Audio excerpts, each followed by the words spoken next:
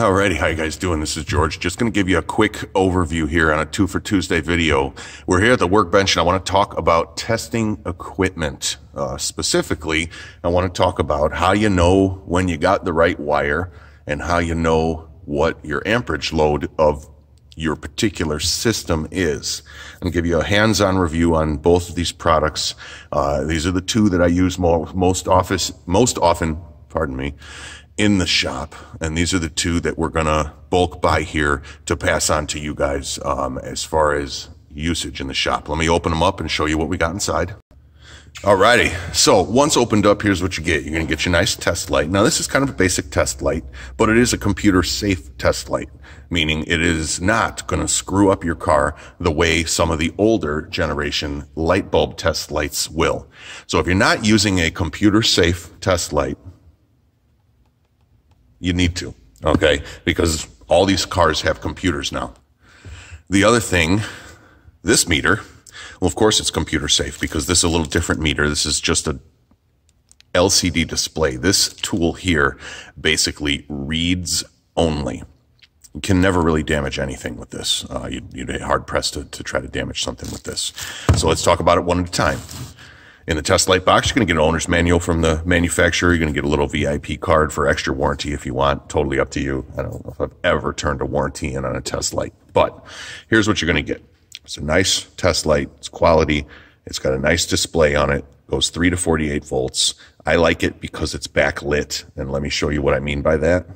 So I'm just going to go ahead and hook our ground up to our test bench ground, right? So we have our, our good ground right here. Now you'd be hooking that ground anywhere on a regular car if you wanted. And then I'm gonna, sorry, as I kick the camera, I'm gonna go ahead and hook up positive right here. And I'm gonna show you what I mean by backlit.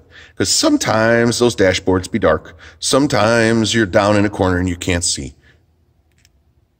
And it'd be nice if it lit up like that.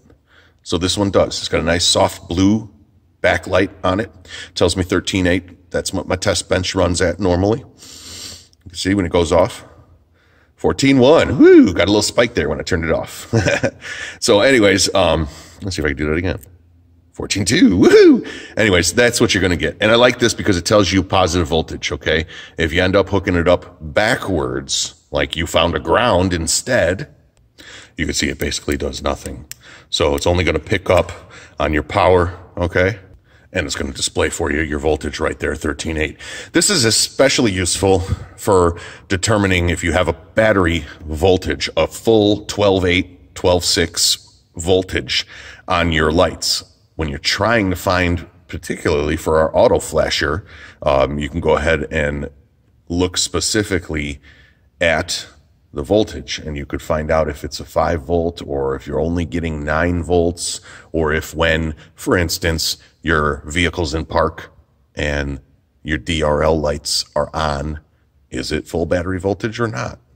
So I like this meter. It's very easy very quick nice little grabber there. So that's the test light that we offer for you if you don't have one check it out at wickedwarnings.com I'm going to talk to you now about this meter right here and how why this one here is so very important. Let's take it out of the bag, take a look at it. Ooh, man, is that nice. Look at that. Oh, should I take this off? Should I take it off? No, because that's up to you when you buy it.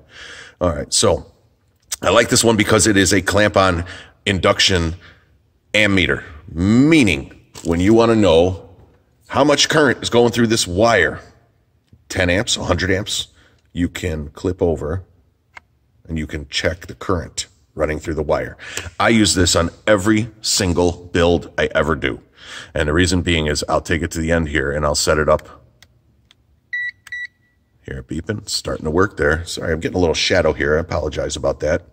So I set it up, and the first thing I'll do is I'll choose whether it's a 2 amp load or a 20 amp load. I can kind of guesstimate on that. Usually I'm using the 20 amp, unless it's a single light, we'll go down to 2 amp. Okay, and then you can see the first thing it says is terms AC. We're going to want to go ahead and sit select once, and now it turns it to terms DC.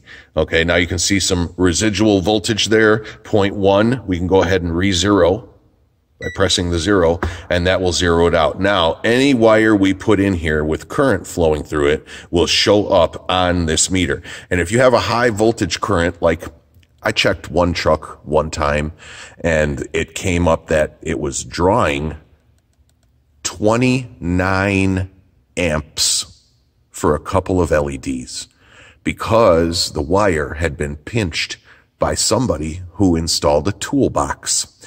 The wire had been pinched to ground. It was hooked up to a factory auxiliary on a Ford Super Duty, which was fused at 40 amps and it was pulling 29 amps and it was actually burning the wire from the short backwards and melting and causing a fire. So I was able to verify that. And uh, when I found the high voltage, I hit hell hold and I took a picture of it and I, I, basically sent it to the client and said, this is your problem right here. This wire should not be drawing anywhere near 29 amps. And this is why we're having melting problems. Uh, he thought maybe the lights were to blame. Um, then I isolated it back to the short circuit, corrected the short circuit. The amperage draw dropped down to about 1.5 and the lights worked perfect. So he did not need new lights. He did not need new wires. He needed a repair and it took this for me to easily find it. So uh, that's that's what I like to use this for. Let me show you a little demo. Okay, so we just got a steady burn light here. This is just a trailer light we had laying around the shop, no biggie. We're gonna go ahead and hook that up to ground. We're gonna go ahead and hook it up to power. Oh, it's backwards on trailer lights. My bad. Let me fix that. You think the ring terminal would have told me that, right? No, nah.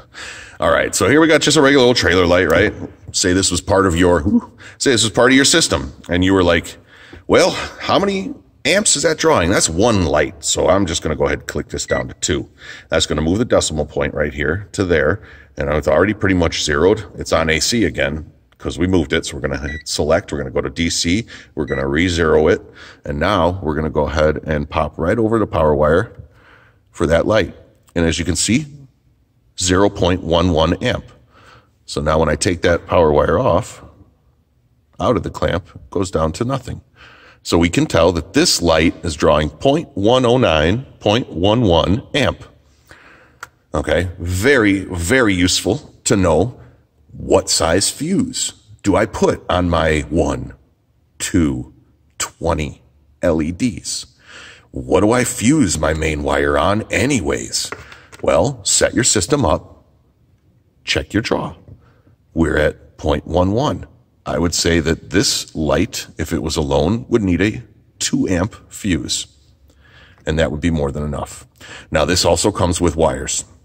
Wires that plug in down here. And what that does is it turns it into a volt ohm meter as well. You can do voltage here. It'll check AC voltage or DC voltage. You can also check your ohms of resistance if you want to ohm out, uh, ohm out something to check if there's continuous continuity between a wire. if you're not sure how to use ohms and how to check for continuity, Google that. It's real easy. I don't use it very often, but once in a while, it's great to have. And then here, of course, we have our 220 and 100 amps. And then we have a near contact voltage as well. Um, the near contact voltage I don't use. That's where you can like just kind of get near a wire. I don't really like it. I, I like the clamp that's my style. Uh, clamp over the wire. Make sure you have only the wire you're measuring in here, and that's uh, that's it. Of course, it has an auto off if you forget to turn it off, because I've forgotten to turn mine off many times, and uh, trust me, it'll go off by itself. So here's your a little bit more expensive all around meter that I love and use nine times out of ten. Here's your everyday grab it test light that I also love and I use very frequently as well.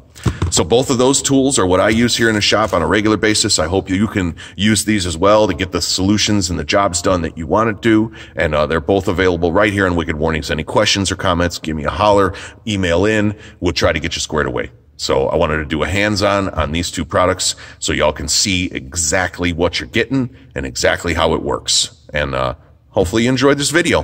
Thanks again for watching Wicked Warnings, number one source for construction and emergency safety strobe lighting equipment for cars, vans, buses, trucks, bicycles, tricycles, everything in between, located right here in the suburbs of Chicago, Illinois. So make sure you check us out at wickedwarnings.com. Drop an email in at info, I-N-F-O at wickedwarnings.com or stop by the shop.